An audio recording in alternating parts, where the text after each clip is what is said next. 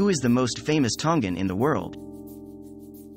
The most famous Tongan of this century was Queen Salote Tupou, 1900 to 1965, whose rule began in 1918. Her dynasty, the Tupou, is the third branch of the royal family and traces its descent back to Ahoitu, the first Tui Tonga of whom there is record.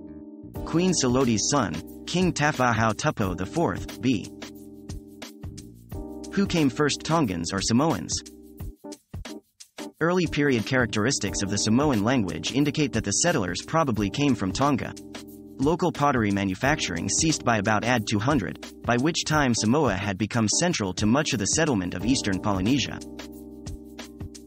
What race are Tongan? Polynesian, Tongans, a Polynesian group with a very small mixture of Melanesian, represent more than 98% of the inhabitants. The rest are European, mixed European, and other Pacific Islanders. There also are about 500 Chinese. More than two thirds of the population of the Kingdom of Tonga live on its main island, Tongatapu.